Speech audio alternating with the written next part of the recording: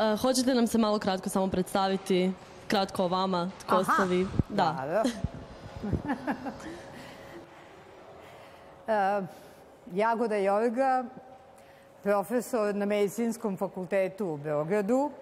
Predajem studentima medicine u okviru predmeta higijena, ishranu, i to ne samo ishranu e, zdravih ljudi, već i naravno primenu različitih dijetoterapijskih mera u lečenju i kontroli različitih obolenja, posebno gojaznosti, hipertenzije, diabetesa, ono što najviše pogađa ljude. I, pored toga, vodim savjetovalište za ishranu, gde zapravo primenom dijetoterapijskih mera pomažem u lečenju različitih oboljenja. Možete nam reći vaš komentar na simpoziji?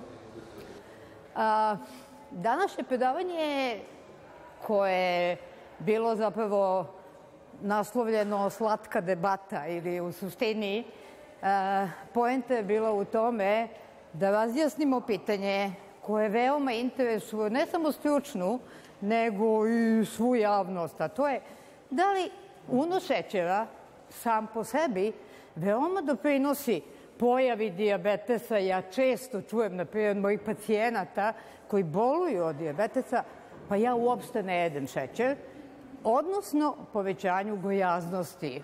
Ta debata u nauci i struci vodi se već mnogo godina, pa je postojala decenijama, zapravo rekla bih, neka moda u medicinskoj nauci, da smo za tu epidemiju gojaznosti koja se događa širom sveta okrivili mast.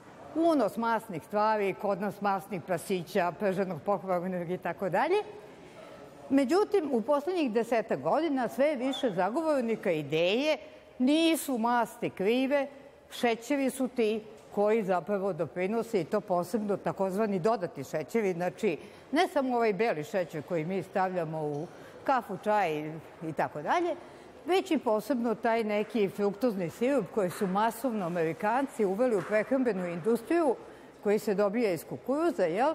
I koji su krenuli da okrivljuju za epidemiju gojaznosti. I da skratimo, što kažu, dugačku priču, znači suština onoga što je sada poznato u nauci je da ono što je naš narod govorio, od čega sit, od toga i debelo, drugim rečima, ono što čovjek voli da jede i ne može da kontroliše, bilo to slano, masno i tako dalje, e, ili slatko, zapravo doprineće pojavi energije. Mi to prevodimo na način da kažemo kad god ima viška kalorija, znači kad mi to što pojedemo ne uspemo da potrošimo, to će rezultirati deponovanjem energije organizmu, odnosno gojaznosti i sledstvenim bolestima, gde je diabetes jedna od najčešćih. Dobro, znači zaključak bi bio da ukoliko kontroliramo unos šećera, da sam šećer ne može uzrokovati... Zaključak bi bio sve što pojedete, to i potrošite. Nećete imati problem ni gojaznosti i u ogromnom procentu sprečit ćemo i pojavu diabetesa, hipertenzije i drugih obolenja. I koje vam se predavanje najviše dojmilo, najviše svidjelo? Pa baš to predavanje koje je govorilo u stvari za i protiv unosa šećera. Dobro. Eto, hvala vam. Molim.